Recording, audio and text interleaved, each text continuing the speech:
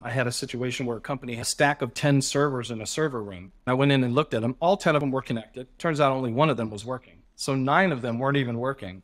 And they were hesitant to spend money to replace the one that was working or buy another one. And I said, we did some work, we got some information calculations, and turned out the electricity that they were spending on keeping the other nine plugged in and not doing anything with them was still costing them about $820 a month.